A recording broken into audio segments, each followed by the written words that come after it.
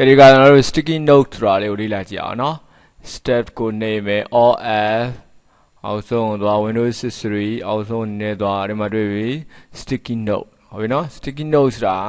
အဲဒီပေါ်မှာအလွယ်တကူ note ရေးလို့ရတဲ့စာရွက်လေးတွေပေါ့နော်စာရွက်လေးတွေကိုနေရာမှာကတ်ထားသလိုပုံစံမျိုးဒီ desktop မှာကတ်ထားတာဟိုမှာဒါကျွန်တော်တို့အဲဒီလှုပ်ဆောင်မဲ့အလုပ်တွေကိုပေါ့နော်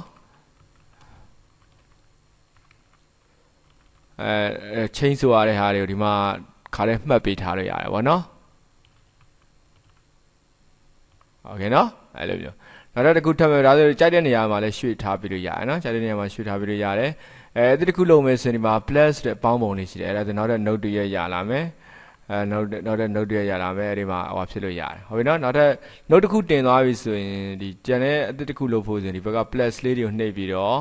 အော် plus လေးတွေနှိပ်ပြီးတော့ဒီမှာလည်းလို့ရတယ်ဟုတ်ပြီနော်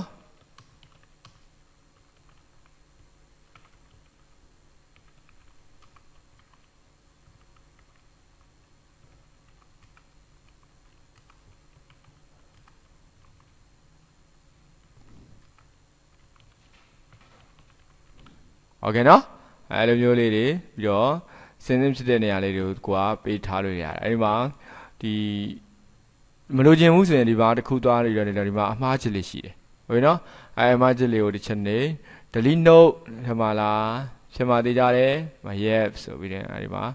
အဲ note ကလေးတွေကိုလည်းအဲဒီမှာဖြတ်လို့ရတယ်ဟုတ်ကဲ့နော်အဲဆိုရင်